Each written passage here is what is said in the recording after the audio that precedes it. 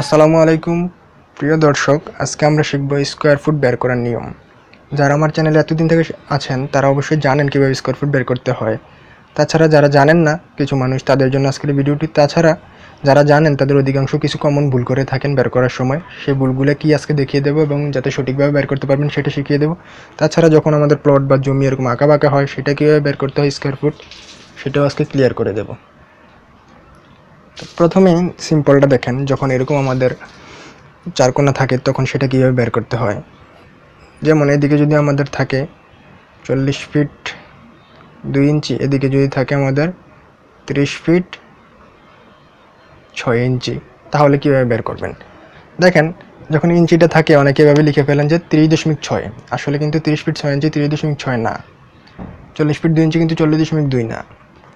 তার আগে সহজটা দেখাই, যদি এরকম হয় চল্লিশ ফিট বাই তিরিশ ফিট হয়। ইঞ্চির হিসাবটা পরে দেখাচ্ছি একটু। যদি এরকম সহজ হয়, চল্লিশ ফিট আছে লম্বায় প্রস্থ আছে তিরিশ ফিট তাহলে এটা কত স্কোয়ার ফিট তাহলে এটা বের করার নিয়ম হচ্ছে দৈর্ঘ্য এবং প্রস্থ গুণ দিবেন, ঠিক আছে?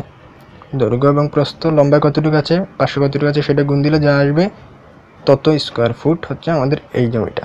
তাহলে এবার আসেন, যদি আমাদের ইঞ্চিতে থাকে, চল্লিশ ফিট দুই ইঞ্চি আছে, মনে করেন লম্বায় প্রস্তে আছে তিরিশ ফিট ছয় ইঞ্চি। আপনি কিন্তু দুই ইঞ্চি এমন করতে পারবেন না যে দুই ইঞ্চি বাদ দিয়ে দিলাম। এত সূক্ষ্ম হিসাবের কী দরকার? কিন্তু না। দুই ইঞ্চি বাদ দিচ্ছেন মানে আপনি পুরো তিরিশ ফিটের মধ্যেই দুই ইঞ্চি দুই ইঞ্চি দুই ইঞ্চি দুই ইঞ্চি প্রত্যেকটা জায়গায় বাদ যাচ্ছে। মানে দুই ইঞ্চি বাদ দিচ্ছেন মানে তিরিশ ফিটের মধ্যে দুই ইঞ্চি, ষাট ইঞ্চি বাদ দিয়ে দিচ্ছেন আপনি, ঠিক আছে? এই জন্য সূক্ষ্ম হিসাবটা করতে হয়। তো দেখেন, যখন ইঞ্চিয়ে থাকবে তখন কীভাবে হিসাব করবেন? দৈর্ঘ্য এবং প্রস্থ গুণ দিলে বের হয়, সেটা আমরা বুঝে গেছি। এখন দৈর্ঘ্য আসলে চল্লিশ ফিট দুই কত?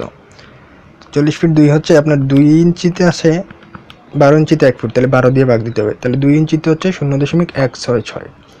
এইটা হচ্ছে আমাদের দুই ইঞ্চি, আর আছে চল্লিশ ফিট। তাহলে মোট চল্লিশ ফিটে চল্লিশ ফিট দুই ইঞ্চিতে হচ্ছে আমাদের চল্লিশ দশমিক ষোলো। চল্লিশ দশমিক ষোলো। চল্লিশ দশমিক দুই লিখলে কিন্তু এখানে বেশি হইতে হচ্ছে। চল্লিশ ফিট দুই ইঞ্চিতে চল্লিশ দশমিক ষোলো ফুট হয়। এটা পাইলাম দৈর্ঘ্য। প্রস্থ আছে তিরিশ ফিট ছয় ইঞ্চি। ছয় ইঞ্চি হচ্ছে আমরা জানি বারো ইঞ্চিতে এক ফিট, তাহলে ছয় ইঞ্চিতে হচ্ছে আধা ফুট। তিরিশ দশমিক পাঁচ। সাড়ে তিরিশ ফুট, ঠিক আছে? ছয় ইঞ্চিতে পাঁচ আসলে কীভাবে বলছেন আশা করি? ছয়কে বারো দিয়ে ভাগ দেন, কারণ বারো ইঞ্চিতে এক ফুট, তাহলে আসে শূন্য দশমিক পাঁচ। তো তিরিশ ফুট ছয় ইঞ্চি মানে হচ্ছে তিরিশ দশমিক পাঁচ, চল্লিশ ফিট দুই ইঞ্চি মানে চল্লিশ দশমিক ষোলো। এই হিসাবটা যদি বুঝে থাকেন, তাহলে গুণ দিলে স্কোয়ার ফুটটা বেড়ে আসবে। চল্লিশ দশমিক ষোলো গুণ তিরিশ দশমিক পাঁচ, বারোশো চব্বিশ দশমিক আটাশি। চব্বিশ দশমিক আটাশি। তাহলে দেখেন, আপনি যদি ইঞ্চিটা বাদ দিয়ে দিতেন, দুই ইঞ্চি আর ছয় ইঞ্চি, তাহলে আসতো বারোশো স্কোয়ার ফুট আর ইঞ্চিটা যোগ করাতে আসতেছে বারোশো চব্বিশ স্কোয়ার ফুট মানে চব্বিশ স্কোয়ার ফুট বাদ চলে যেত যদি আমরা ইঞ্চিটা হিসাব না করতাম।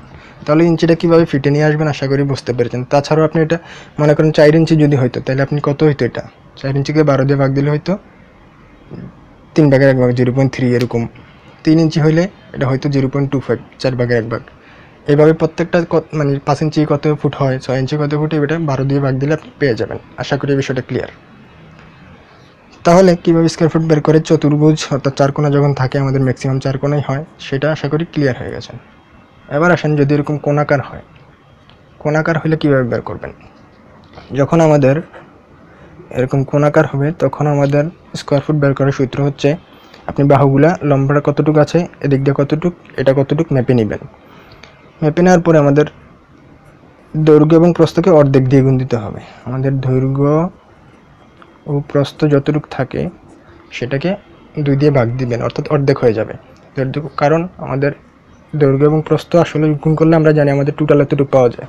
তো এটা আছে অর্ধেক, তার মানে এটাকে অর্ধেক দিয়ে গুণ দিতে হবে। যেমন আমাদের এটা যদি ত্রিভুজ হইতো, তাহলে আমাদের কী পাইতেছি মূলত? এই দৈর্ঘ্যটা এবং প্রস্থটা গুণ দিলে আগে আমরা পাইছি পুরোটা রেডিয়া। তাহলে এখন যেহেতু ত্রিভুজ, তাহলে আমরা অর্ধেক দিয়ে গুণ দেবো। তাহলে আমরা ত্রিভুজ আকৃতির যখন মাপবো, তখন অর্ধেক করতে হবে।